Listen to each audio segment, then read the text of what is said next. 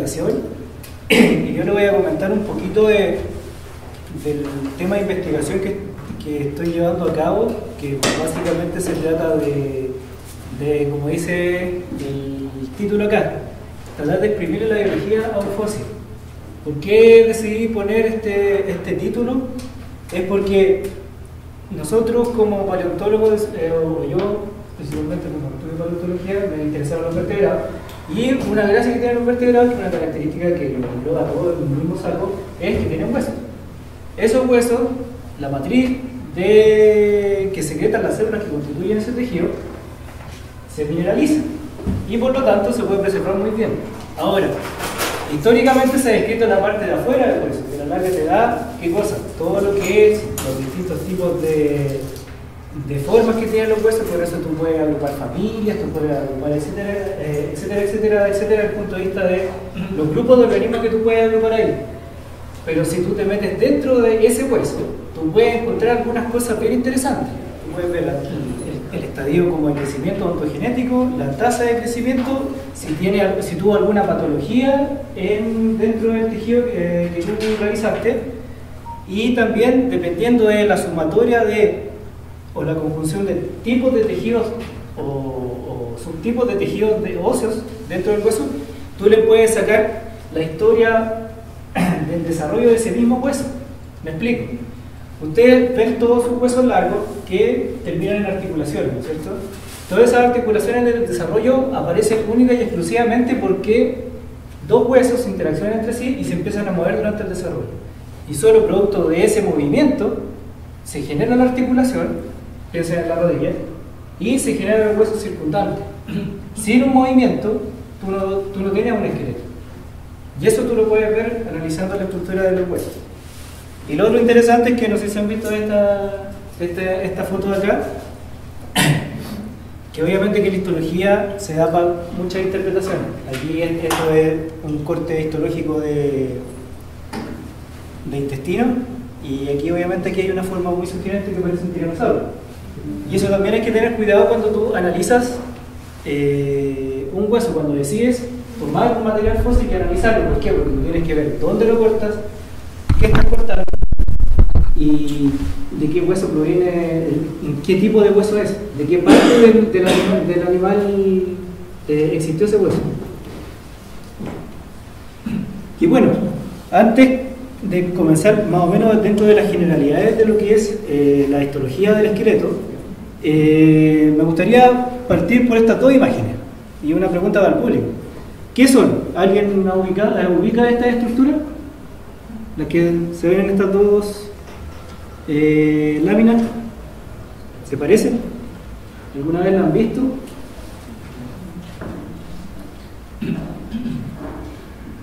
De cualquier corte de, de hueso que salen los textos de histología. Bueno, les comento. Estas dos cosas que ven aquí, por lo menos pueden, pueden observar que en forma se parecen mucho que ustedes tienen como verdaderas cebollas cortadas, en donde tienen un centro y tienen distintos puntitos. ¿Ya? Aquí tienen exactamente la misma forma. Una cebolla cortada, un centro, capas concéntricas y puntitos. Todos los puntos que ustedes ven acá son las células del hueso, o lo que se llama osteocitos. Todo lo que ustedes ven acá como la cebolla cortada es el sistema que se denomina el sistema de Havers.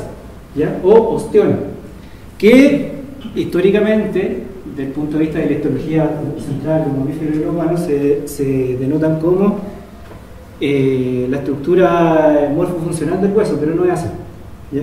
Pero históricamente, si quieren revisarlo en la literatura, siempre así lo van a encontrar. Y lo interesante es que estas dos cosas son muy parecidas, y si vemos de a quién pertenecen, vemos lo siguiente. El corte que ustedes tienen a su derecha pertenece a un fémur de ratón. Y el que tienen a, a, perdón, a su izquierda era el corte de ratón y a su derecha era un pedazo de costilla de un plesiosaurio. Como ustedes pueden apreciar, no hay mucha diferencia en la estructura fina de estos dos cortes. Y desde el punto de vista de relacionar estos dos organismos, ustedes pueden sacar la siguiente conclusión. pertenecen a un mismo grupo, son muy parecidos porque presentan una misma estructura interna.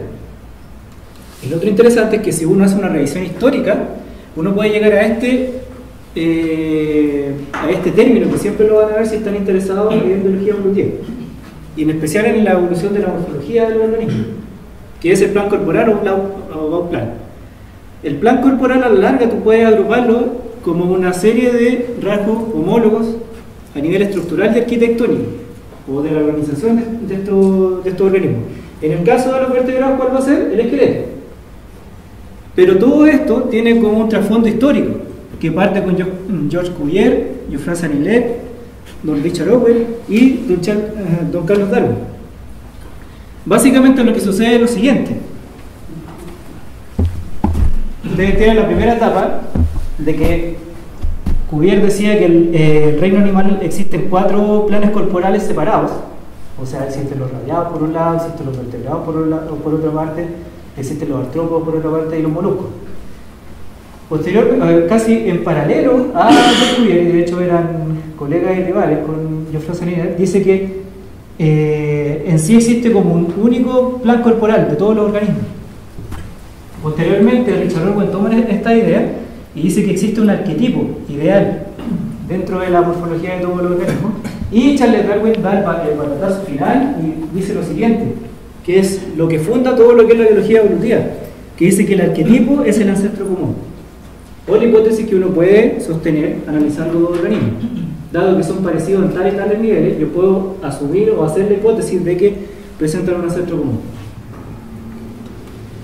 Y con esta relación, si uno encuentra los parecidos, uno tiene, lo que está al medio es el dibujo ideal que hizo eh, Richard Owen en uno de sus de su monografías históricas, y donde básicamente pone todas las características comunes eh, eh, de la organización de los vertebrados. Si uno compara, por ejemplo, un peoso que está acá y un cordado, ubican esto, ¿no? Branquiostoma Ophioxus, que es un céfalo cordado que es pariente lejano de nosotros. Se llama cefalocortado porque una de las características es que todo su corda o todo su, su eje eh, corporal y axial llega hasta la cabeza. No tiene una diferenciación entre tronco y cabeza. Pero interesantemente también tiene arcos, eh, eh, arcos branquiales como nosotros y como los peces. Y también tiene el cuerpo segmentado como ustedes lo pueden ver acá entre otras cosas como tener el sistema nervioso a, nivel eh, dorsal, etcétera, etcétera. Pero la idea es eso.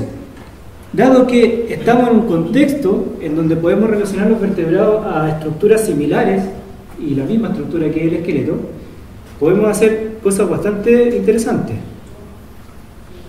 También, gráficamente, lo que dijo Darwin fue lo siguiente, que en vez de idealizar esto en el aire, eh, podemos hacer una hipótesis, en donde si tenemos distintas formas parecidas podemos hipotetizar de que existió un centro común ubicado en edades geológicas anteriores.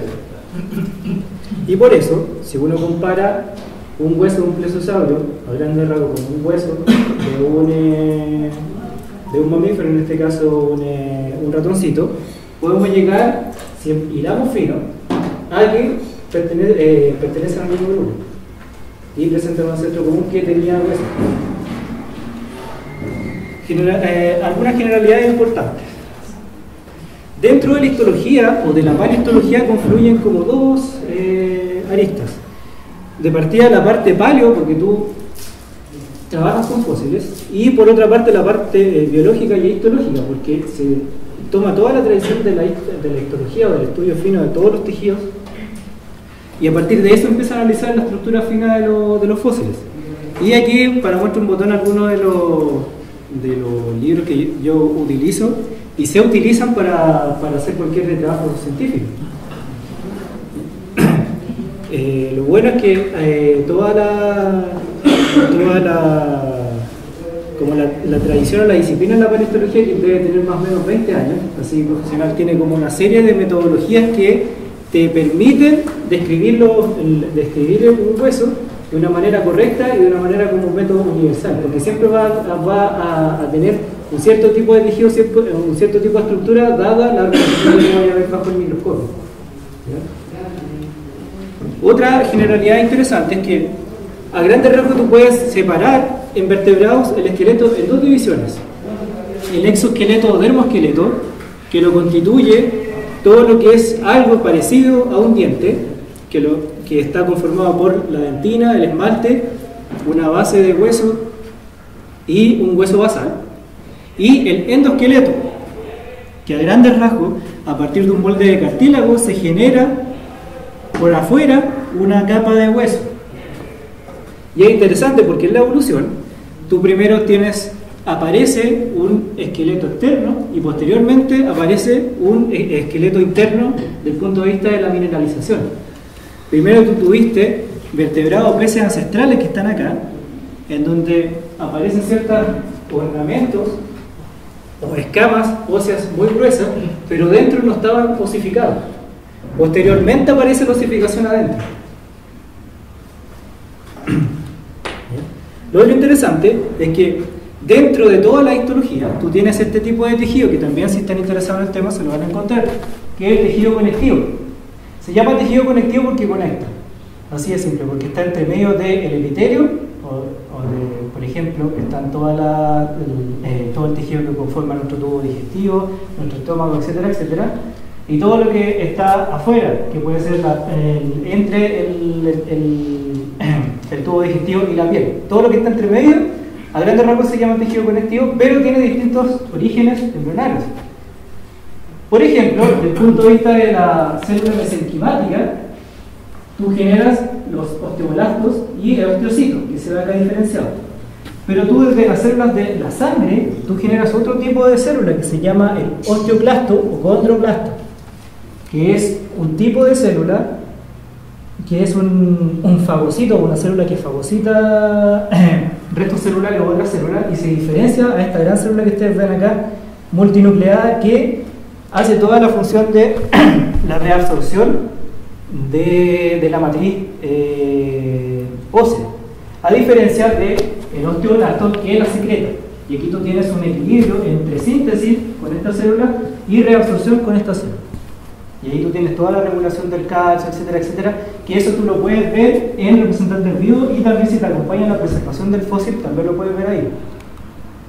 Lo otro interesante es que Dentro del hueso eh, convive otro tipo de tejido que es la médula ósea, donde están todos los eh, las células precursoras de las células sanguíneas, etcétera, etcétera. Dentro de los orígenes embrionarios, esta es una lámina muy famosa de Ernesto Haeckel, en donde compara los desarrollos de todos los, eh, de varios tipos de vertebrados, y ustedes pueden ver si observan estadios ontogenéticos más anteriores, pueden ver que todos empiezan a aparecer. Y aquí uno puede hacer la hipótesis de que los estadios embrionarios eh, más tempranos se, se, podrían parecer a un ancestro de todo este grupo, que es lo que se llama la teoría de la recapitulación. Lo otro interesante es que siempre ustedes tienen que, cuando ven este tipo de, tejido y quieren sacarle el rollo de cuál fue como la etapa del crecimiento donde está el bicho, siempre tienen que tener en cuenta el ciclo completo de vida de un organismo, que en este caso es una rana africana, el Xenopus levis. No tienen que guiarse con una foto solamente en el tiempo, siempre un hueso tiene una historia de desarrollo. Lo otro interesante es que dentro del desarrollo, la gran característica de los vertebrados que tienen vértebra, que es una columna vertebral. Esa columna vertebral aparece a partir de este surco dentro de un embrión, eh, que, a grandes rasgos, a partir de este surco en la línea media, tú generas tanto el sistema nervioso, los músculos y los huesos. Voy a ser bien general en este, en este punto. A partir de este eje que se llama, en este caso, el tubo neural, y lo que ustedes ven acá que se llama la notocorda que está por debajo, que es precursora de todos los cuerpos vertebrales, tú tienes que alrededor de este, de, este, de este eje aparece lo que se llama el mesodermo y dentro de este mesodermo aparecen todo lo que son los tejidos que te generan el cartílago, los tendones y los músculos. Y eso es interesante porque desde el origen embrionario ustedes siempre tienen eh, conviviendo tendones, cartílago, hueso y músculo. Es un sistema entero. Y si ustedes analizan cómo se forma esto, el detalle es el siguiente, que si por ejemplo uno está viendo cómo se desarrolla la patita de, de un vertebrado, van a ver lo siguiente.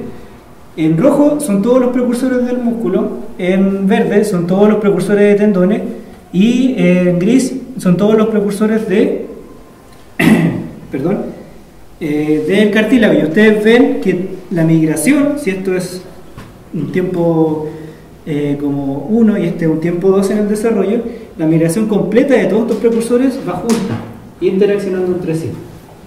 Y eso es importante porque le estoy dando el detalle de lo que se sabe ahora de la biología del desarrollo, pero si tú ves un fósil y ves el hueso y la estructura del hueso, va a tener ciertas características que va a tener una historia parecida a lo que está acá.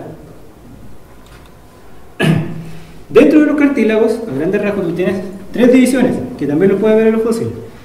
El cartílago hialino, eh, el cartílago elástico y el fibrocartílago. Este es el tipo de cartílago más común, que se llama hialino porque es transparente. Este se llama elástico porque tiene fibra elástica entre medio y están, por ejemplo, en la, oreja de nosotros. Y el fibrocartílago que se caracteriza por estar en los tendones. Dentro de los componentes del cartílago, grande rasgos, tú tienes proteínas, en este caso que son del tipo del colágeno, pero un colágeno especial, el 2 y el 9. Y estos se enganchan como verdaderos velcros dentro de, la matriz de, de, este tejido y hace que tengan esta resistencia al, a cualquier interacción mecánica y pueden volver a su, a su tamaño original. Le da una cierta como consistencia, turgencia y también elasticidad. Producto que tiene todos estos tipos de proteínas que también retienen muchas moléculas de agua y te quedan como todo hinchadito. Dentro de, la, de, los del cartílago tú siempre vas a ver pares de células conviviendo entre sí, que son los llamados grupos isógenos. Dentro de los tendones tú vas a ver todas las células orientadas en un mismo plano y en T tú vas a ver estas células del tendón que se llaman tenocitos. Esto es modo general nomás. Pero esto es interesante porque ustedes ven acá la transición entre el tendón y eh, el hueso. Ustedes pueden ver estas líneas que se llaman fibras de Charpy, que son fibras de colágeno que se insertan en el hueso. Y esto también tú lo puedes ver en un fósil, por ejemplo. Los tipos celulares. Como les explicaba, dentro de la línea de, celular del hueso, tienes estos tres tipos, que es básicamente la historia de desarrollo de, de todas estas células.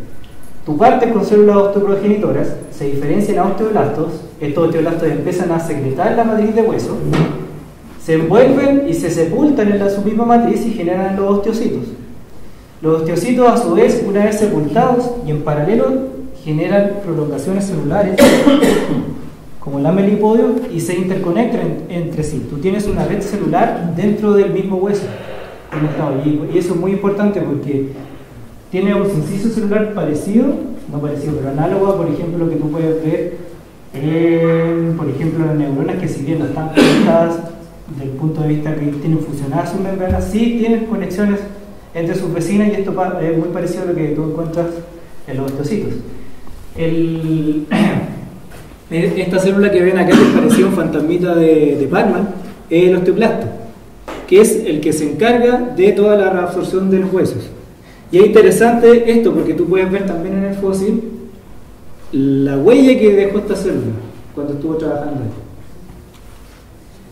Y bueno, aquí está todo el proceso de, síntesis y de diferenciación celular en el hueso tú tienes que establecer la osteoprogenitora, los osteoblastos que empiezan a secretar esta matriz que se, llaman, que se llama matriz osteoide porque aún no tiene minerales ahí. Posteriormente esta se calcifica, se mineraliza y tú, y tú generas la diferenciación entre osteoblastos y osteocitos que generan estas prolongaciones que se tocan entre sí.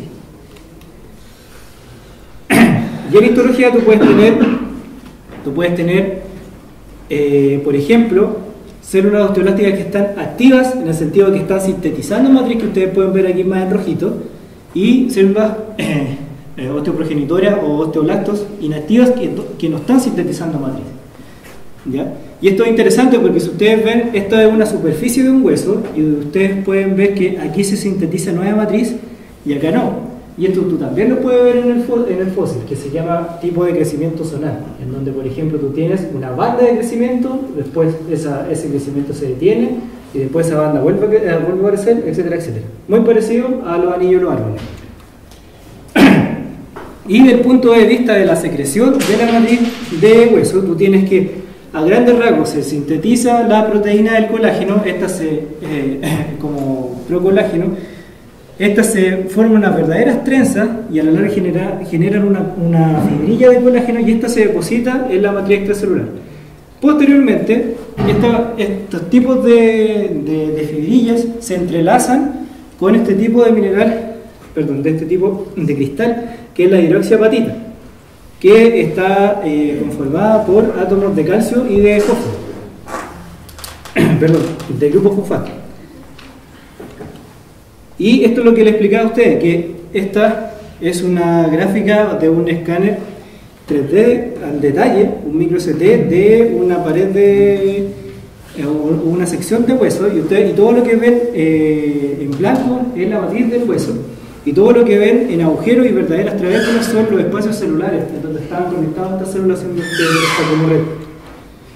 Y bueno, aquí tenemos un osteoclasto al detalle, en donde lo interesante es que son presentan varios eh, núcleos y presentan una superficie que ustedes pueden ver acá, en donde esta célula secreta enzimas eh, y también genera un medio ácido de forma tal de que licúa esta, esta, superficie y deja la marca, que eso es lo más importante acá, porque eso también tú lo puedes ver en el fósil. Y por ejemplo, tú tienes aciertos fotográficos como nuestro clasto comiéndose la matriz del hueso que esta es una microscopía electrónica de barrio que justo eh, le fotografiaron y bueno, esto está coloreado digitalmente para que vean la célula. Bueno, aquí tú puedes ver osteoclasto in situ haciendo su pegue comiendo huesito. Y lo interesante es que cuando se te forma un vaso sanguíneo dentro de un hueso, tú tienes interaccionando, por una parte, el vaso sanguíneo formándose los eh, las células osteoprogenitoras dividiéndose, eh, formándose a osteoblastos que secretan matriz y los osteoclastos aquí comiéndose la matriz como en un frente de avance de esta de este vaso sanguíneo. Así que tú tienes siempre un sistema celular confluyendo. Siempre tienes distintos tipos de células generando a la larga una morfología que uno puede ver directamente en un fósil. Dentro de los tipos de osificaciones, ustedes tienen dos grados, grupos. Lo que se llama osificación intramembranosa o directa, que es el siguiente, que a partir de células precursoras se genera al tiro matriz de hueso, que presenta la siguiente característica, que estos grupos de células secretan de un paraguaso la matriz mineralizada de hueso y forman estas trabéculas. Y lo interesante es que ustedes, este tipo de osificación se encuentra en huesos del cráneo, por ejemplo. Y se llama intramembranosa porque aparece entre membranas de células. Así, eh, históricamente, desde el punto de vista de la morfología de las células que uno veía, eh, se la bautizaron, pero también se lo denomina como osificación directa. La otra, que es la llamada osificación endocondral, que es como la más estudiada en detalle en sus mecanismos y en su histología, es que tú a partir de un molde de cartílago formas hueso. El modelo más, eh, más famoso es de los huesos largos. Ustedes sabrán que un hueso largo morfológicamente se divide entre la diáfisis, que es la sección media, y los extremos, que son la epífisis, proximal y distal. Tiene la superficie articular, en donde tienes cartílago y se te forman articulaciones, etcétera. Y dentro de este hueso, en la sección de la diáfisis, tú tienes una cavidad medular, tú tienes una, una parte más que se llama periósteo, y también tienes sectores de hueso compacto, etcétera, etcétera. Y también hueso a nivel de la médula.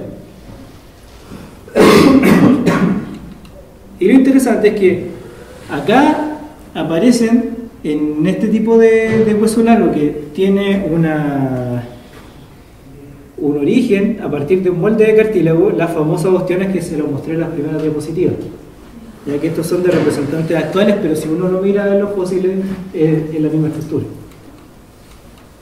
Ahora, aquí a grandes rasgos lo que sucede es lo siguiente, que tú tienes un modelo cartilaginoso, esto se empieza a diferenciar y progresivamente se transforma en hueso.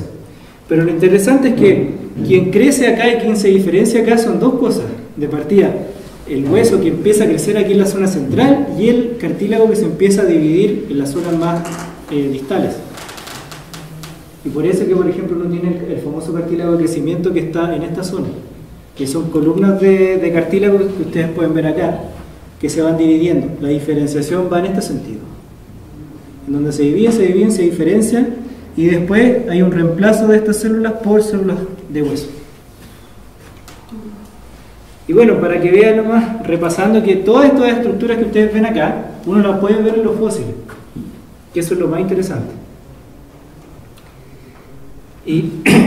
Y, lo otro interesante es que dentro de vertebrados tú tienes osificaciones externas al esqueleto propiamente tal, que aparecen dentro de los tendones que se llaman los famosos sesamoides, que muchas veces aparecen por interacciones mecánicas.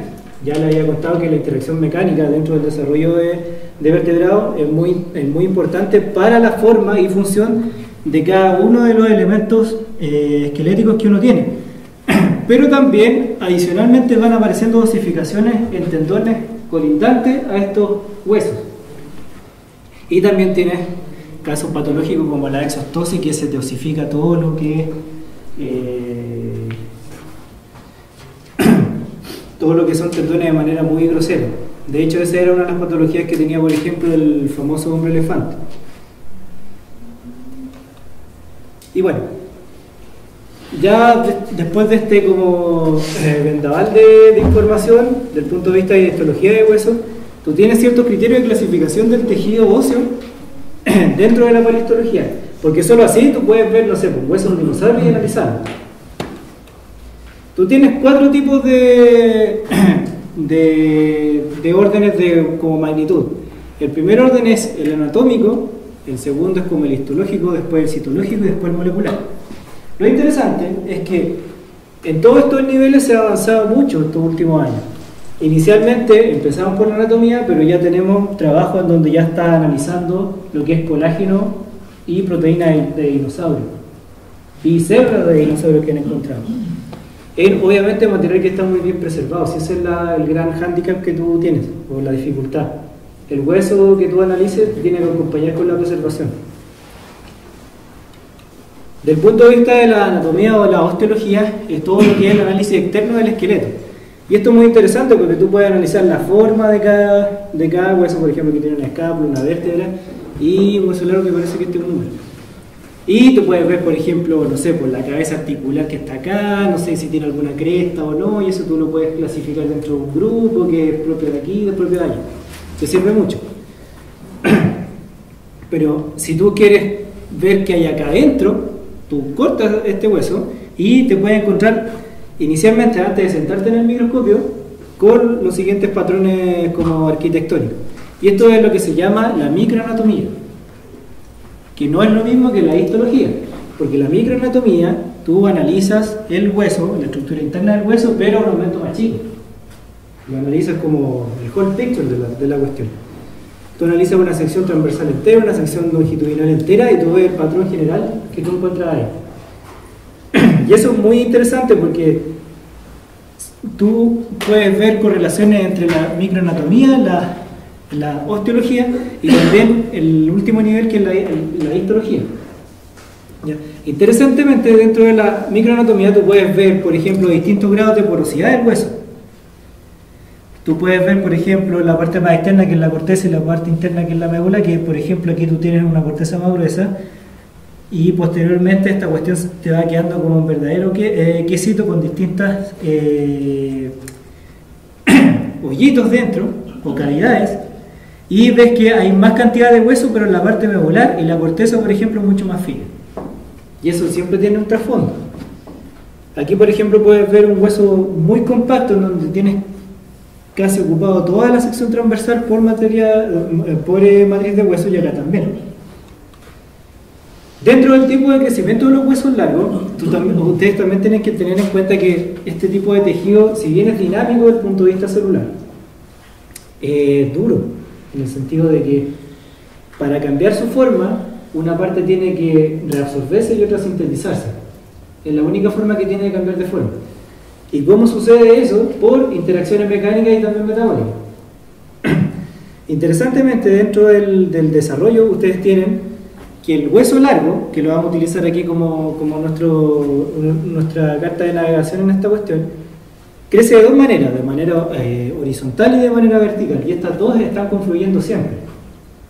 Lo otro interesante que ustedes ven acá es lo que se llama la herida de la corteza, o cortical drift, que básicamente ustedes eh, mantienen la misma forma del hueso, de la sección transversal, pero esta cambia en su forma interna. Por ejemplo, si ustedes tienen esta, esta forma que parece como un osobuco, este osobuco puede cambiar acá y toda la sección transversal sigue igual.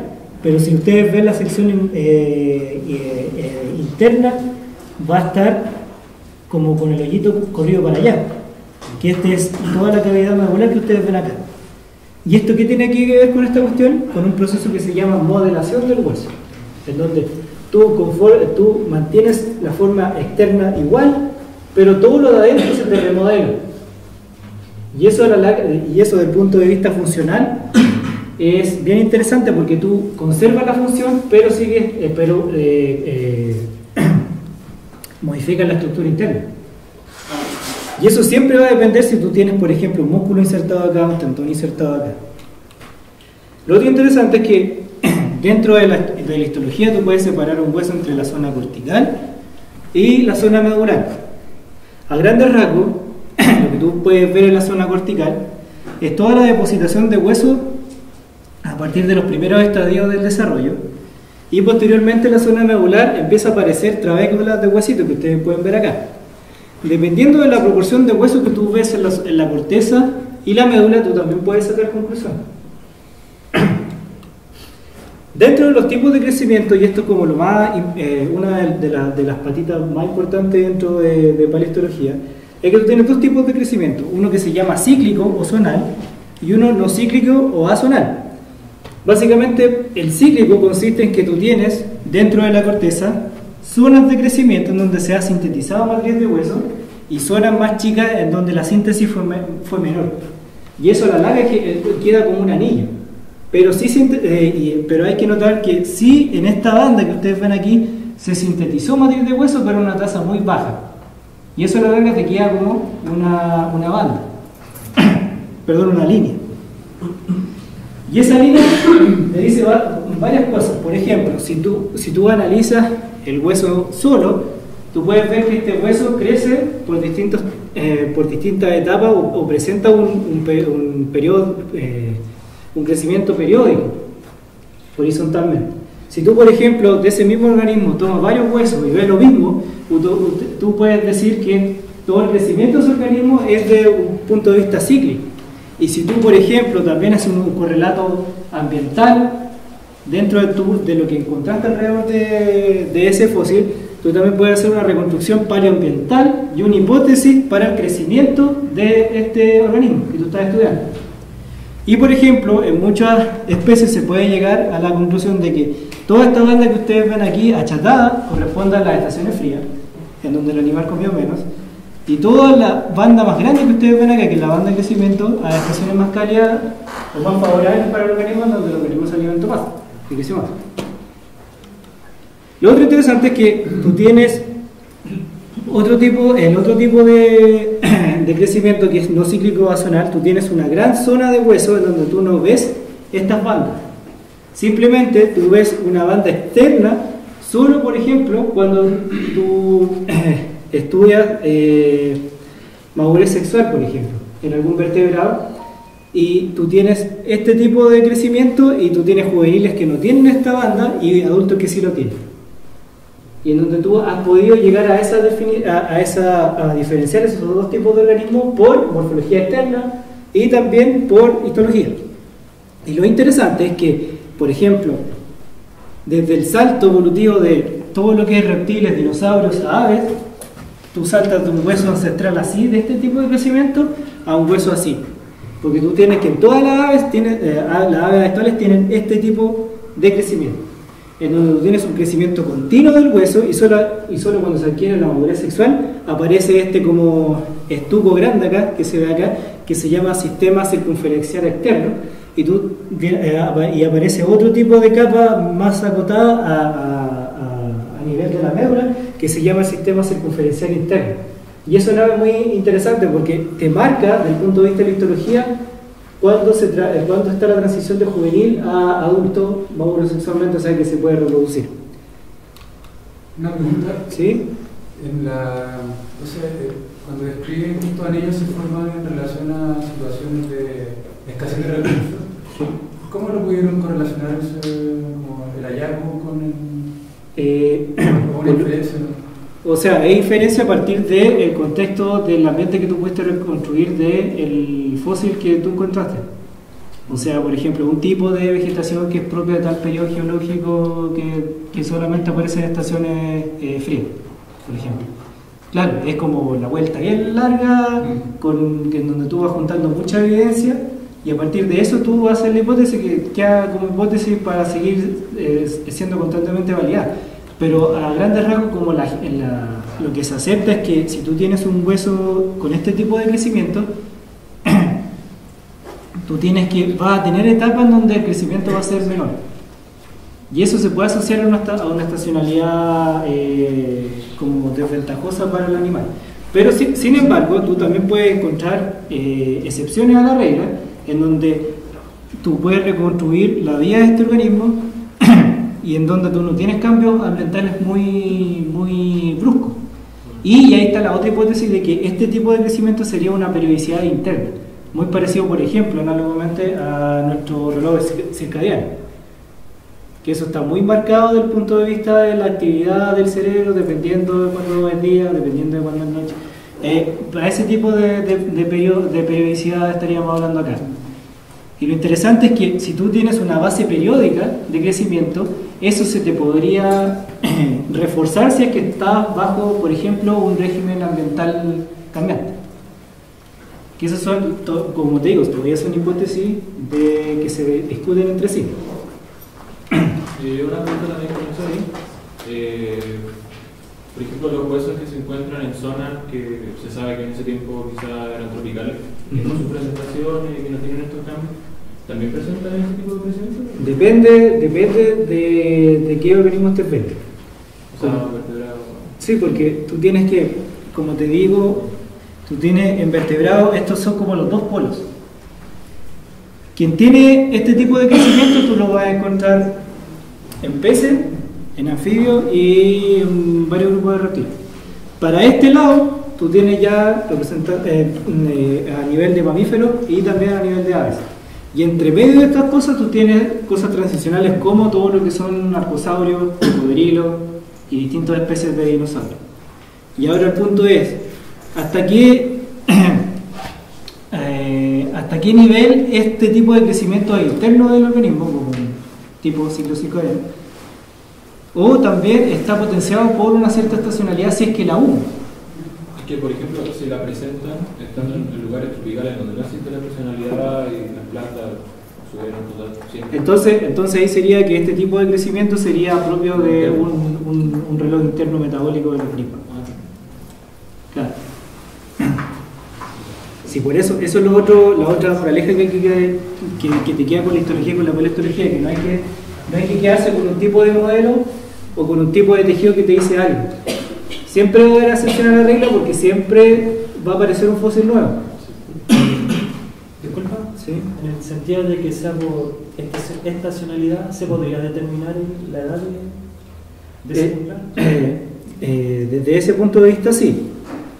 hay, hay, un, hay, eh, hay un acuerdo más o menos general del punto de vista que si tú en un organismo ves un cierto tipo de número de bandas, eso va a equivaler más o menos a un año o del, de, vida del organismo, o de un ciclo entre estación favorable o estación eh, no favorable, por ejemplo, si es que tú estás haciendo la hipótesis ambiental, o un cierto tipo de periodo de crecimiento del organismo, que tú tuviste 15 periodos de crecimiento, que pueden ser 15 años o 15 estaciones, pero comúnmente se le asigna a años. Eso es como lo común que se, se asume. Lo interesante desde el punto de vista del crecimiento zonal es que por interacciones de fuerzas mecánicas tú, por ejemplo, puedes tener toda esta creación de esta cresta que tú puedes ver, por ejemplo, en los fémures, etcétera, etcétera. Y lo interesante es que en estas formaciones, como hay un crecimiento hacia una cierta zona, tú puedes quedarte con, por ejemplo, las eh, líneas de crecimiento. Y tú puedes hacer un correlato siguiendo todo el hueso de, que, por ejemplo, las líneas que están acá o las líneas que están en este extremo equivalen a algunas de las líneas que están acá.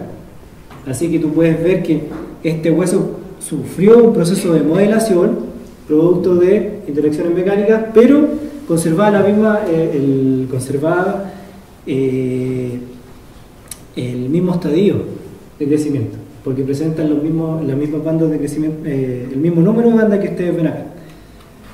Y desde el punto de vista del crecimiento zonal, ustedes tienen lo siguiente, ustedes tienen los progenitores de las células que están acá en rojo, estas se transforman en osteocitos, estas secretan en matriz, generan otra zona, y después generan otra zona, y ustedes la sección transversal ven esto, una primera capa, después una segunda capa y una tercera capa, en donde la capa más antigua queda adentro y la capa más reciente queda afuera, del punto de vista de la corteza.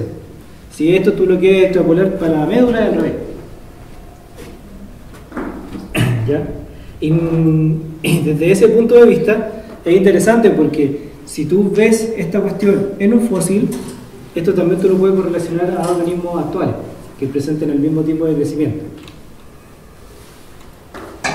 Y bueno, dentro del tipo de clasificación del tejido óseo, tú tienes dos grandes clasificaciones, que es el primario o síntesis continua de matriz de hueso, que es propia de una alta tasa de crecimiento o de tejido, de embrionario o de etapa embrionaria, y el tejido secundario que es eh, síntesis de hueso pero a nivel ya de juvenil y de diferenciación sexual, de adulto.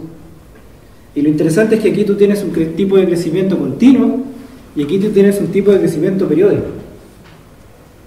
Que eso puede estar o no correlacionado con estas bandas de crecimiento generales que les había dicho en las diapositivas anteriores. Lo otro interesante es que tú puedes ver tres grandes tipos de tejidos según el ordenamiento de las fibras de colágeno. Y lo, y lo, lo choro de acá es que todo lo que les estoy mostrando son cortes de huesos fósiles. Tú tienes tres tipos de tejidos según cómo se disponen las fibras colágeno. El entretejido, el pseudolamelar y el lamelar. Este es mayor tasa de crecimiento, tasa intermedia y una tasa periódica baja, a grandes. Tú tienes aquí que las fibras de colágeno están desordenadas y entretejidas, como ustedes pueden ver acá, que va una fibra para allá y la otra está como interdigitada, que una va para allá y la otra para acá. Ahí ustedes pueden ver como un tejido en donde están las distintas fibras. Un pseudo lamelar, que es como esta misma fibra, un poco más ordenadas, así como tallarines, y un lamelar donde ustedes ya tienen una disposición paralela a estas fibras. ¿Ya? Y lo interesante es que ustedes pueden tener en un mismo hueso estos tres tipos de tejidos, o pueden ser reflejos de tres de tres estadios ontogenéticos de un organismo. ¿ya? Así que tienen una mezcla de estos tres tejidos. Por ejemplo, si uno ve un hueso en donde ve solamente este tipo de tejido, uno puede decir, ah, en este, tipo, en, en este hueso había un crecimiento muy ágil. Por ejemplo, si uno ve este tipo de, de, de tejido, uno puede decir, ah, ya, entonces la tasa de crecimiento aquí es un poquito más baja, y si se le agregamos que este confluye con este, podemos decir que comparativamente hablando, la tasa de crecimiento es menor desde el punto de vista de la depositación de las fibras colágeno y por eso, por esa tasa menor, hay mayor tiempo para que estas fibras de colágeno se interdigiten entre ellas y se ordenen de esta manera y se empaqueten. Los tipos de, hueso también se pueden denotar con, este, eh, con esta forma que se llaman fibrolamelar. ¿Por qué se llama fibrolamelar? Porque básicamente tú tienes las láminas de hueso alrededor de estos vasos sanguíneos y también presenta fibras de colágeno alrededor. Y los distintos tipos de, clasificación, tú tienes labilar, plexiforme, plexiforme y reticular.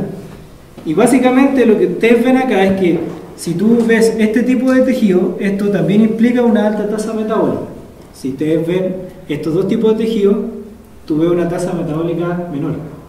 También tú tienes un tipo de clasificación en donde tienes un eje que te indica menor tasa metabólica, mayor tasa metabólica.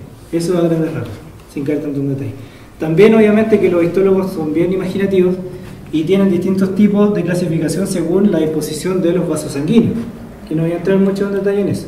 Y, por ejemplo, un corte de un hueso fósil, tú puedes encontrar esto, que este es un tipo de tejido plexiforme, donde tú ves varios, eh, eh, todo la, el hueso alrededor de vasos sanguíneos con este tipo de recoveco, y esto es un corte de un plesiosaurio juvenil. Interesante porque tú tienes todo el tejido que tú puedes encontrar en un juvenil de vertebrado. El tejido primario que está depositado desordenadamente. Y lo interesante es que tú también en un fósil puedes ver esto, que es lo que se comió el, osteo, el osteoclasto cuando estaba resolviéndose el hueso. Y aquí tú puedes ver la evidencia de una célula que estuvo aquí habitando hace 67 millones de años, por ejemplo. Y algunos ejemplos paleontológicos en vertebrados fósiles varios, que lo interesante es que como yo les explicaba este tipo de crecimiento zonal, como anillos de externos y anillos de muy parecidos a los anillos de los árboles, esto tú puedes verlo en la corteza, por ejemplo, aquí esto lo hicieron en un, en un tipo, en un tetrápodo basal, eh, ¿cuál era? Era un tendopónilo parece, pero la gracia es que pescaron los fémures y hicieron una serie ontogenética de fémures. Y lo interesante es que cortaron la diáfisis de los fémures, que ustedes ven acá, y en cada una fueron contando estas distintas capitas y líneas que encontraban en la corteza. Y asignaron que los estadios más tempranos tenían menos líneas y los que estaban más tardíos tenían más líneas. Los que estaban acá presentaban tejido más juvenil y los que estaban acá presentaban tejido más adulto. Así que ahí tú tienes una evidencia como herramienta eh, eh, de la cronología de la vida de este animal. Pero aquí te acompaña que tú tienes muchos ejemplares que tú sabes que es la misma especie y obviamente tienes todos los recursos para poder hacer eh, pedazos de estos huesitos. Lo que es que tú también puedes ver zonas de crecimiento, que esta es una costilla mesosaurio y tú puedes ver aquí las distintas zonas de crecimiento que puede tener y tú puedes decir, por ejemplo, que en este hueso puedo ver 14 o 15 eventos de crecimiento. Tiene 15 años, tiene 15 anillos de crecimiento, etcétera, etcétera. Lo otro interesante es que tetrápodos que vuelven al agua, lo que le pasa en algunas formas transicionales, que se pueden ver en los ancestros de las ballenas, también en plesiosaurios, etcétera, etcétera, y en manatí, es que estos huesos presentan lo que se llama valiostosis. El grande rasgo es que el hueso se te pone muy masivo y toda la cavidad medular se te llena de hueso. Y lo interesante es que es un muy buen ejemplo de convergencia evolutiva, porque todo este trapo que volvió al agua pasa por una, por una forma transicional que presenta este tipo de estructura. En todos los casos parece. También desde el punto de vista del enanismo en isla, se ha visto que cabras enanas, que ustedes pueden ver acá, se creía que, eh, se creía que o se hipotetizaba de que era una cabra chica, o sea, una cabra juvenil. Pero lo que hicieron fue cortaron el hueso, que cortaron el fémur, y vieron que este fémur presentaba estas bandas de crecimiento y un, tejido propio de un adulto. Entonces, solamente a partir del estudio de la histología, los investigadores pueden decir, ah, es un adulto enano. Lo otro interesante, como señalaban aquí los compañeros, es la correlación que tú puedes hacer entre el ambiente y la, fisiología y la histología. Y básicamente lo que hicieron acá con varios huesos de, de endotermo, de dinosaurio, también de eh, ciervos de Norteamérica, lo que hicieron fue correlacionar la banda de, o la línea de crecimiento que se llama en este caso crecimiento restado porque es una banda empaquetada donde se sintetizó muy poco hueso. Y eso lo correlacionaron con, con ejemplares actuales en donde esa banda se secretaba única y exclusivamente cuando el animal comía poco, cuando la estación no era muy fría o toda la vegetación era escasa. Y en cambio, todo el periodo de crecimiento estaba asociado a eh, la, la, estación eh, favorable. Así que aquí tú tienes un correlato ambiental en ciervos, porque este ejemplo es en ciervos, que tú tienes un correlato ambiental y estructural con el hueso. O sea, línea de crecimiento, eh, estación desfavorable, banda de crecimiento y síntesis de hueso en la estación favorable. Y esto es muy interesante porque en varios huesos de dinosaurios tú puedes ver patrones parecidos. Y biología de algunos dinosaurios. Interesantemente, en Norteamérica, por ejemplo, tú tienes, y en otras partes del mundo, tú tienes la posibilidad de tener varios ejemplares de dinosaurios.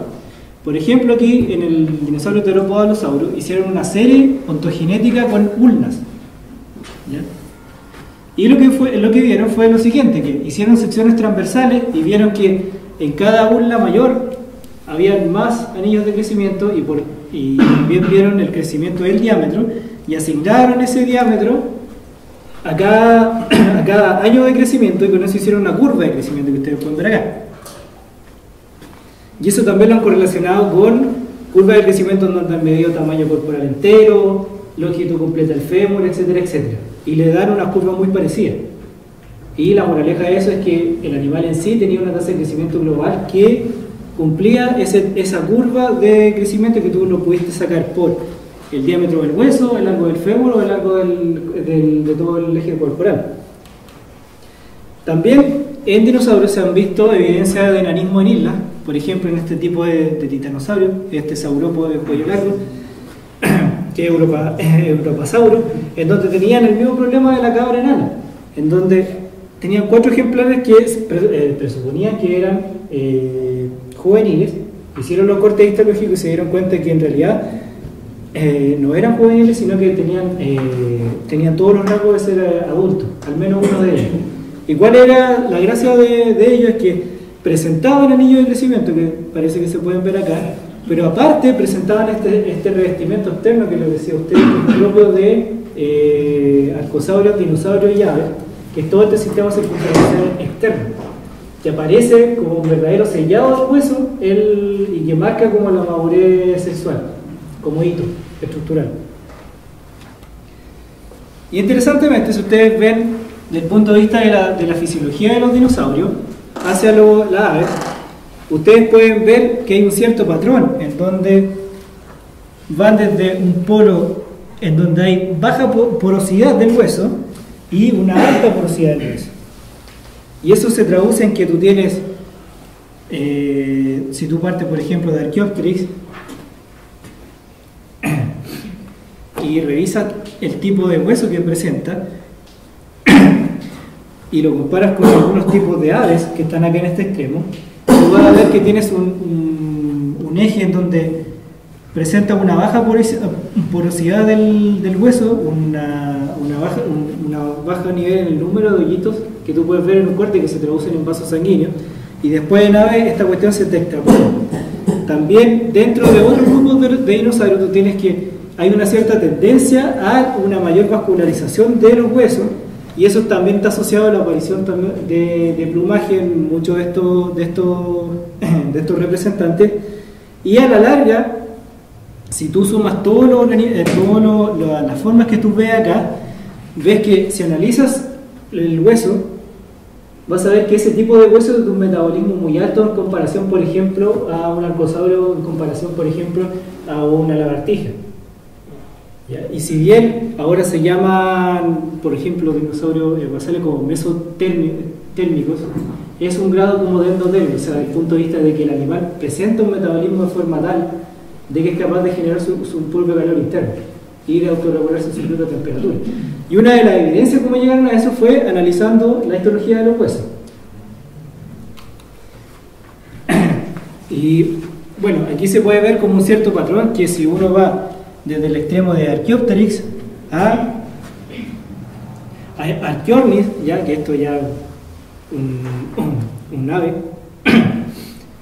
tú puedes ver que aquí tiene pocos vasos sanguíneos y aquí tiene más vasos sanguíneos. Pero interesantemente, el tipo de tejido que tú ves acá es muy parecido, o sea que ambos tejidos son depositados muy rápido, pero la única diferencia es que este presenta una tasa aún más mayor y las aves actuales presentan una tasa aún mayor todavía.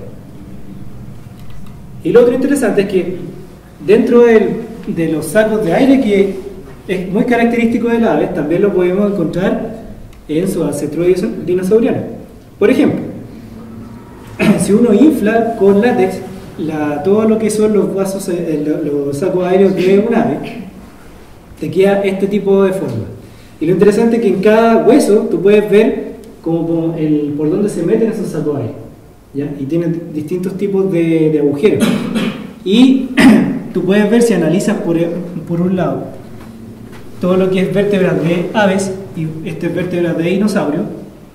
¿Ya qué especie es esa? Es un terópodo que no lo puedo leer aquí, se me olvidó. Pero bueno, para el ejemplo es que tú puedes ver que están estas mismas eh, agujeros dentro del, del hueso en donde se meten estos sacos aéreos. Y aquí estamos haciendo un análisis microanatómico, en el sentido de que estamos viendo la anatomía fina de cada elemento óseo. Aquí son comparaciones de vértebras de un ave con un terópodo no abierto. Y presentamos una estructura muy parecida. Más en detalle, si vemos este, este dinosaurio que vemos acá, eh, que es un, Majun, Majungasaurio. sí, eh, vemos que analizan las vértebras y ven estos agujeros que se observan acá, que también son evidencia de que hubo, hubieron saco aéreo. Y si uno hace la reconstrucción paleobiológica de dónde se hubieran ubicado estos eh, sacos aéreos, encontramos lo siguiente. Rellenando toda esta zona, muy parecido a lo que vemos en aves. Bueno, y aquí está como la comparación gráfica. Y lo interesante es que esto también se ha reportado en huesos de este saurópodo en Argentina. Y lo interesante es que aquí analizan secciones transversales de distintos tipos de huesos, por ejemplo, parte de huesos de, la cadera, eh, gastralias o costillas abdominales, vértebras, etcétera, etcétera. Y ustedes ven que lo negro es la matriz del hueso y lo blanco son los espacios de estos sacos aéreos que penetran dentro del hueso. Y eso es interesante desde el punto de vista fisiológico, porque ustedes pueden ver que todas estas, eh, todo este esqueleto presenta una, al- lo que se llama una alta neumaticidad. Y tú tienes que, tanto a nivel de dinosaurios terópodos como saurópodos y también pterosaurios, que no, vinieron aquí al, al baile, presentan este tipo de tejido eh, neumático y también es antecedente de una alta tasa metabólica y también de una eficiencia respiratoria muy alta. Bueno, y finalmente, dentro del, nivel molecular de dinosaurio, tú tienes proteínas y células de dinosaurio. Pero aquí no voy a incluir al señor DNA porque Jurassic Park se equivocó. Lo que hace, lo que hicieron el grupo de, de, de a partir del 2007 en adelante, es que tomaban eh, huesos de tiranosaurio y lo molían. A partir de eso, sacaban todo lo que era la matriz mineralizada y veían lo que quedaba. Y lo interesante es que todo lo que ustedes ven acá, de A a D, es matriz de eh, sin, sin, eh, sin minerales de hueso de tiranosaurio y todo lo que ven entre medio son las fibras de colágeno ¿ya? y las que ven acá y si ustedes lo comparan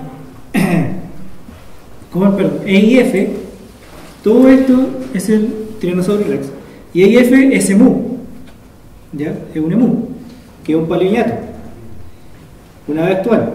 Y ustedes comparan la estructura de estas fibras de colágeno con los de tiranosaurio y morfológicamente son muy parecidas. Pero uno puede decir, ya, bueno, estructuralmente se parecen, pero ¿y? Bueno, hagamos un ensayo molecular. Y lo que hicieron fue eh, hacer ensayos con anticuerpos que son todas estas proteínas de nuestro sistema inmune que reconocen específicamente cualquier tipo de molécula, hicieron, por ejemplo, ensayos contra el colágeno 1 del tiranosaurio y le dio positivo. Evidencia de que el dinosaurio tenía proteínas. También lo hicieron con un adrosaurio, en donde hicieron la misma, el mismo patrón, en donde sacaron la matriz del hueso y simplemente dejaron las, eh, las fibras colágenos y llegaron al extremo de ver, por ejemplo, lo que ustedes ven acá, que es eh, un osteocito aislado, o lo que quedó de un osteocito, y aquí también se ve lo mismo, una célula del hueso de dinosaurio, o por lo menos el molde de la célula que quedó de, de ese. Nuevamente hacen el mismo ensayo eh, molecular y todo lo que ven en verde son lo que daba positivo a grandes rasgos del colágeno del hueso. Y lo interesante es que tomaron lo que pudieron extraer de este colágeno y lo secuenciaron y lo metieron en lo que se llama estos árboles moleculares, donde ustedes en vez de comparar huesos, comparan moléculas, y a partir de eso vieron que tanto el, en las proteínas de Brachiosaurus, que era el hadrosaurio y tiranosaurio, están muy cercanas a lo que es el pollo y el avestruz, desde el punto de vista molecular. Así que una evidencia más de que la, son dinosaurios. O que están emparentados o que están, pertenecen al mismo grupo. ¿Ya? Y, ah, bueno, aquí termino. Eso.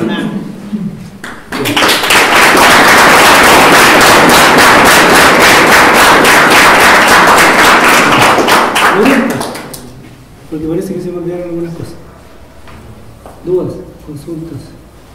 Eh, cuando mencionaste lo de los terópodos que se iban a la luz, ¿Ah? que cuando los terópodos, o sea, cuando los eh, vertebrados se iban a la luz, ¿Sí?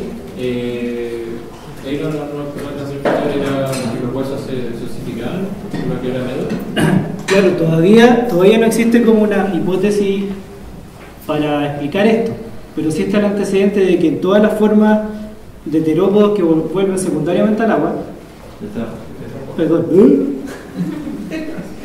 tetrápodos que vuelven al agua, o sea, los todo lo que eran los ancestros de la ballena, todo lo que eran los ancestros de los, de los plesiosaurios, eh, todavía no se sabe mucho qué pasó.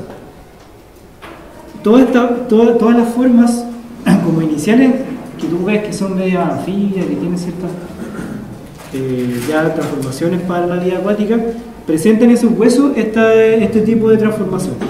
Ah, y después la piel. Claro, tú tienes como formas que son, que nada, eh, que desde el punto de vista de, de- de su forma de movimiento en el agua es muy lenta, muy parecido a un manatí. Posteriormente adquieren una forma de vida, forma derivada, más libre en el agua y genera una- un tipo de, de- de hueso poroso que tú lo encuentras, por ejemplo, en ballenas, Ah, en ballenas actuales. Pero si tú ves, por ejemplo, los ancestros de la ballena presentaban este tipo de histología. Y un tipo de, o lo que se ha reconstruido desde el punto de vista de su biomecánica, de que nadaban muy, eh, muy no sé, por las costas, su forma de nadar era como muy lenta. Pero este todavía es como un misterio. Se asume que esto pasa porque tiene el dato, pero todavía no hay una hipó- una hipótesis en donde tú tengas el dato eh, como paleomental, el dato, no sé, biomecánico, etcétera, etcétera. Pero eso, es más. ¿Sí? Eh, sí, no me quedó claro el último trabajo filogenético. Ellos construyeron las secuencias de aminoácidos de los dinosaurios para hacer la filogenia. O sea, lo que pudieron sacarle a, por lo que yo entendí del, de comprendí el paper, lo poco y nada que le pudieron sacar de la secuencia de colágeno a, a, ese, a ese pedazo de, de huesito de Brachiophosaurio y Tiranosaurio, a eso lo metieron a- a- en este árbol molecular. Ah, o sea, con aminoácidos, con secuencias de. Claro. Miraron la secuencia. Claro. A partir de eso. Eh, pero ahora el detalle molecular de eso te, te- te- te estaría cuestionando, porque ya se me olvidó. Pero la gracia es que a partir de un árbol ya conocido molecularmente, tiraron lo que se pusieron de lo que sacaron de- del material de dinosaurio. ¿Sí? Sí, una pregunta en relación como a lo mismo en los últimos trabajos. Eh, mostraste en un caso que tenían que, en el trabajo anterior, creo que en el anterior, no me acuerdo, pero ah, como que molían el hueso para identificar las proteínas y con eso se ocupaban anticuerpos después para detectar colágeno, ¿cierto? Claro. Pero, ¿Eso es necesario en ese sentido, moler el hueso? Ah, no, me refería a que ese moler me refería a que se retiraba la matriz. La matriz... Eh, eh, eh, sí, sí. Ah. Decía cuando, no sé, pues, bueno, pero, pero actualmente hay trabajos en que, por ejemplo, hacen cortes seriados de hueso y, y sin necesariamente destruir la matriz, hacer como una inmunodetección de... Todavía no. Y, segu- y seguramente que lo haga va a ser el. Igual si quiere, después te paso la referencia porque la, la Mary Schweitzer Ajá. es como la. tiene un laboratorio que se llama como de paleontología molecular. Y se dedica exclusivamente como bioquímica a, a exprimirla como el hueso a su nivel más micro. Y seguramente si, si, si aparece ese estudio va, va a ser este grupo de trabajo porque en el mundo hay re poco. Tal como ellos no lo Ah, y otra pregunta. Sí. eh, entonces, actualmente el único análisis eh, que se hace como histológico del hueso es simplemente hacer los cócteles y visualizarlo a través de, mi- de, de distintos tipos de microscopía, me imagino. Claro, pero tú la, la, la microscopía que te ayuda más. ¿Cuándo voy a poner una.? Porque en algunos casos tú mostraste como imágenes, en ese caso, por ejemplo, que están como pseudo coloreadas, ¿o no? No, aquí no están pseudo coloreadas. Eso se, se, se me pasó para poder haber terminado la presentación. Es que dentro de paleontología, la herramienta más, eh, la, la mayor herramienta que tú tienes como microscopio es el microscopio de luz polarizada. ¿Por qué? Porque con la luz polarizada, si tú tienes un polarizador, te va a desviar la luz solamente en un plano. Esa luz va a incidir, si tú tienes una estructura que es heterogénea, va a incidir de cierta manera en donde tú vas a generar ciertos patrones de sombra y ciertos patrones de iluminación. Y con eso tú puedes ver indirectamente cómo está, cómo está dispuesta la matriz de hueso si es que la preservación te, te, ayudó en el sentido de que puedes ver los paquetes de fibra de colágeno. Y si tú los puedes ver, ahí tú los puedes describir bien, porque tú vas a visualizar eso. Ahora, ¿por qué son los colores? Porque esto es solamente microscopía de luz polarizada y aquí, aparte, los colores que tú ves es con lo, que, lo que le llaman el filtro lambda, que, que agregan un filtro de color más y tú ves el ángulo de la luz, eh, pero 45 grados girado. Y como tú agregas un componente de color, tú vas a tener que todas las fibras que están en, en colores opuestos eh, dentro de esa gama van a estar perpendiculares. Por ejemplo, si tú ves que estas fibras están en este sentido, que están en azul, tú vas a ver que estas otras fibras están en el sentido para acá. Y si tú haces el match entre esas, tú tenés las fibras que están eh, perpendiculares entre sí y tienen una, ordenación espacial distinta y por lo tanto la luz incide distintamente en ella y tiene distinto color. Pero esto si tú lo ves luz polarizada sola, tú vas a tener que una está iluminada y la otra está en sombra. Wow. Eso se ve directamente. Sí, sí. Y esto se ve, eh, y esto lo utilizan los geólogos para analizar minerales. De hecho, el microscopio se llama mi- el microscopio petrológico. ¿Y mineralógico? ¿Cómo se llama? Ese. Y tiene como una platina que tú vas girando el filtro y con eso tú puedes analizar, no sé, pues hay como una- hay un ramo de eso en todas las carreras de geología que hacen eso. Y de hecho yo tuve que aprender un poco de eso porque a partir de, de, de- de este tipo de microscopía tú puedes analizar los huesos, no, no hay otro. Porque por ejemplo, si tú solamente ves esta imagen que es una imagen de microscopía de luz normal, tú a lo más vas a ver qué cosa. Células, que esta cuestión eh, tiene un tipo de tejido continuo, que puedo decir que es un tipo de hueso primario, o osteana primaria, y aquí esta que presenta como es- esta capa de cebolla, en donde tú- yo puedo asumir de que aquí hubo un periodo en donde se reabsorbió esto, se volvió a sintetizar, se reabsorbió esto, se- pero esto no, a, la larga no me sirve al detalle. Si tú quieres publicar el paper, siempre te van a pedir esto. ¿Preguntas más?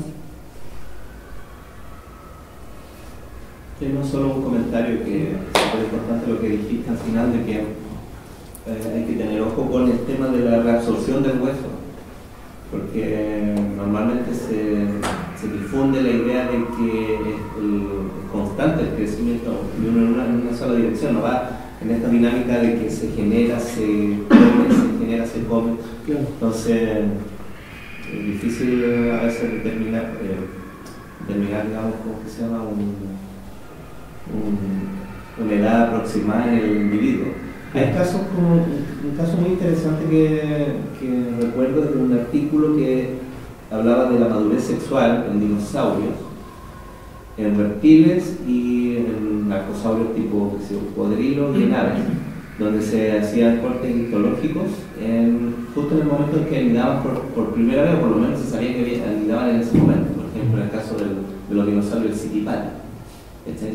Entonces se hacía el corte al, al- al animal que estaba en- encima de un nido fósil, se le hacía el corte de, histológico se podía determinar, eh, poner en una curva y decir que si yo en, en a tal edad alcanzaba eh, un- una madurez sexual. Y justamente los dinosaurios que no son aves se encuentran en- a medio camino entre lo que es un cocodrilo y un pájaro.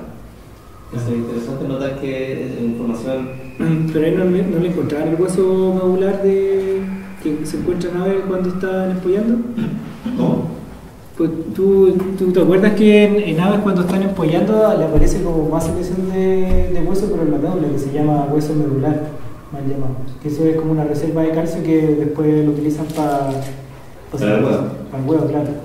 ¿No? Claro, o sea, yo no, no recuerdo el detalle del paper, pero me imagino que en aves modernas sabéis que, que el día es la fecha exacta, digamos, cuando, cuando empiezan a poner los huevos. Pero claro, en el caso de los dinosaurios hay interesante porque estaba- se, da, se daba en una, en una curva que uno esperaría, eh, ¿cómo que se llama?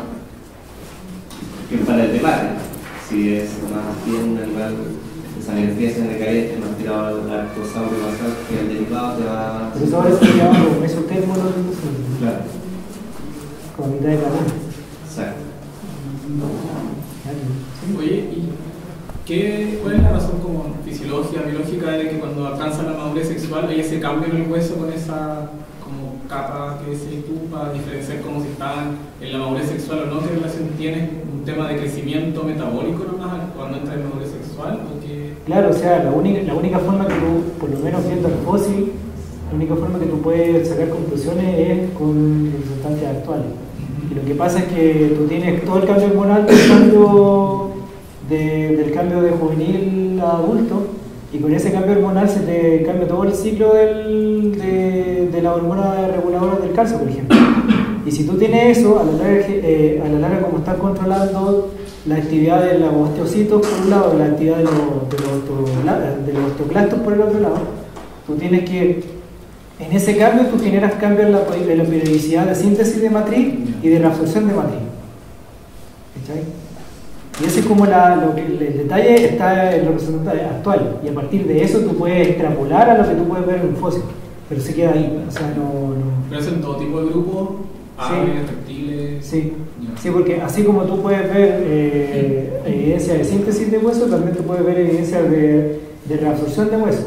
Porque, por ejemplo, no sé, pues, si tengo X hueso y presenta a nivel de la médula o dentro de la misma corteza espacios, grandes espacios donde no tenés matriz, lo tienes eh, como un mascadito así de, de, célula, ahí tú puedes ver que puede, puede, eh, efectivamente puedes decirla o, sugerir de que ahí hubo una actividad osteoclástica muy alta. Por lo tanto, en, esa etapa de desarrollo de ese hueso, eh, de ese fósil, hubo una alta eh, reabsorción de hueso y a partir de eso tú puedes hipotetizar que, todos los, eh, que toda la parte endocrinológica que está detrás de eso está aprendida por X cosa. Pero siempre utilizando el ejemplo actual. Tú no tenés cómo verlo ver el fósil. Eso queda- pues, siempre queda los chutés para la discusión si usted quiere respecto. Eso. ¿Sí? Eh, Oye, primero le voy a felicitarte por una sesión bien ilustrada. Yo quería preguntarte por el desarrollo actual de este campo, ¿cómo, ¿qué perspectivas ves tú del desarrollo, en este desarrollo en el, estudio de, de restos fósiles?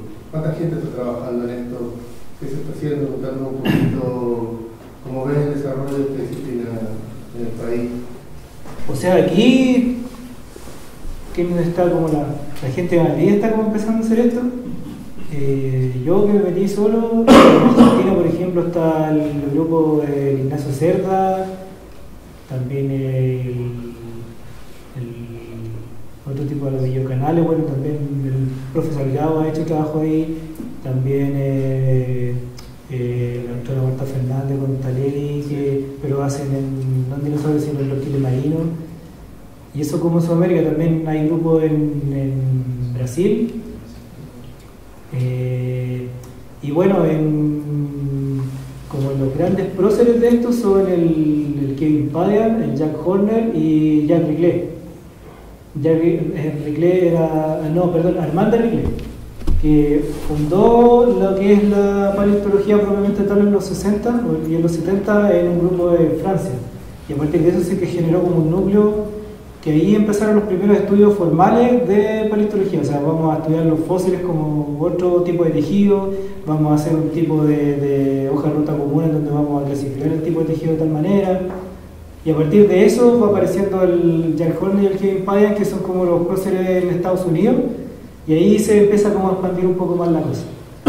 Y en Sudáfrica aparece la, la Chimsani, la, no sé si Chimsani, que también ella fue como una de, la, de las últimas como lumbreras que hizo nuevas, escuelas para eso. Y ahora hay como varias gente que está trabajando entre medio. Y la proyección es que la, ustedes no sé si se dan cuenta que uno tiene que destruir el fósil para llegar a este dato.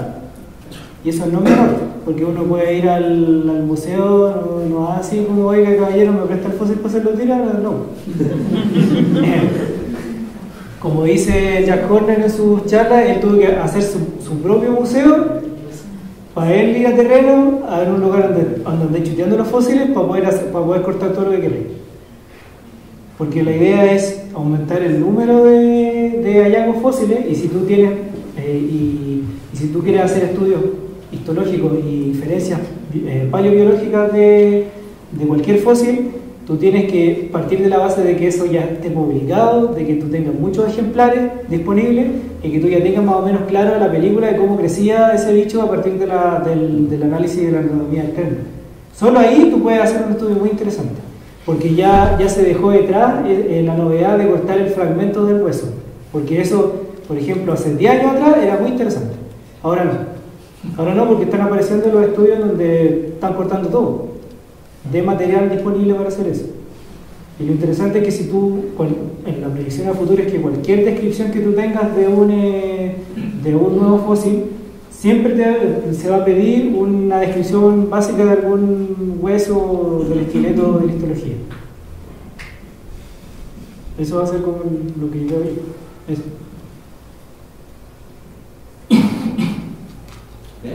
Gracias, Luis. Gracias.